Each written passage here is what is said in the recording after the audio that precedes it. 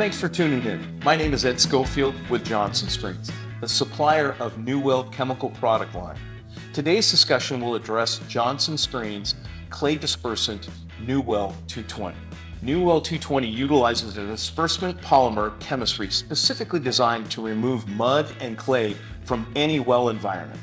It greatly enhances the successfulness of any new well development or well redevelopment or cleanup of an older impacted well, all without the use of any phosphates. Nu-Well 220 can also readily assist in the rehabilitation of older wells plugged with formation sediments such as clays, silts, and fines. Like all of Johnson Screen's Nu-Well products that are used downhole, it is NSF approved for potable water use the application of Nu-Well 220 in well development. Nu-Well 220 should be mixed on the surface for proper dilution at a rate of 2 gallons per thousand of the targeted treatment volume. Mix the Nu-Well 220 with clean mix water prior to adding it to the well. Nu-Well 220 weighs 10 pounds per gallon, and simply pouring it down the well does not provide sufficient mixing or proper placement. It is likely to just sink to the bottom of the well. Nu-Well 220 needs to be put into the well and worked into the screen and gravel pack for a minimum of several hours to improve penetration into the gravel pack. Ideally, at least one half hour per every 10 to 20 feet of screen interval. It is also recommended that Nu-Well 220 be allowed to circulate or sit in the well overnight, a minimum of eight hours, and again rework the next day prior to being pumped or airlifted from the well. These important steps will ensure that the Nu-Well 220 is in contact with the targeted material for its effective removal. Check with your drilling mud supplier to determine if any of the bentonite drilling fluids used in the drilling of your well was beneficiated or enhanced with polymers. Today, most drilling fluids or drilling muds have 5 to 10% polymer added to the drilling fluids to fortify the solution yet their addition is rarely advertised or referenced as being present. If any polymers are present or suspected of being present during the initial drilling of the well, then it's important that you treat specifically that polymer additive, breaking that polymer down first if you desire a complete and effectively developed well. The removal of this added polymer in the bentonite mud mix is critical to any successful well development process if the Nu-Well 220 or any competitive mud removal product is to work properly. Chlorine, a strong oxidizer, is effective in breaking down these added polymers. This superchlorination is required to break down these polymer additives. It's important to note chlorination as part of the development is much different than disinfection.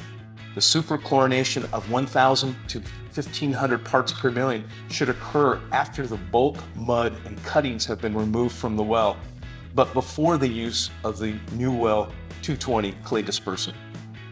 Prepare the chlorine solution at the surface. A 1200 ppm chlorine solution is comprised of 10 gallons of sodium hypochlorite at a 12% strength per 1,000 gallons of potable water and a 1500 ppm chlorine solution is comprised of 12 and a half gallons of sodium hypochlorite per 1000 gallons of potable water. Place the chlorine solution evenly across the screen interval of the well and work thoroughly into the screen and filter pack.